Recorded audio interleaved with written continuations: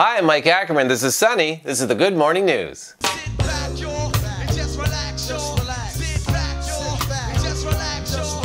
As seen on preconstruct.com, an exciting new power plant is in development that will use ocean tides to power homes in a big way. This planned power plant in Wales may look funky, but its benefits far outweigh the beauty.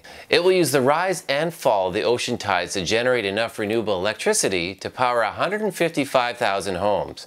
Power plants have been generating electricity using tides since the 1960s. But the Swansea project is gonna be huge! An almost 10 kilometer barrier creates a massive artificial lagoon which stores water during the high tide and gradually releases it when the tide goes out.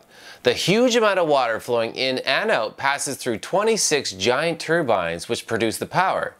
The Swansea Bay Tidal Lagoon will not only crank out clean energy, but also be the home of a new seaside sculpture garden, and even a community aquaculture farm growing oysters, kelp, and other local sea crops.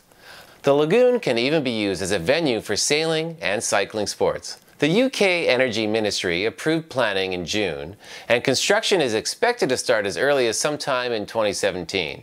Its $1.5 billion price tag relies on government subsidies for 35 years, but is expected to have a lifespan of 120 years.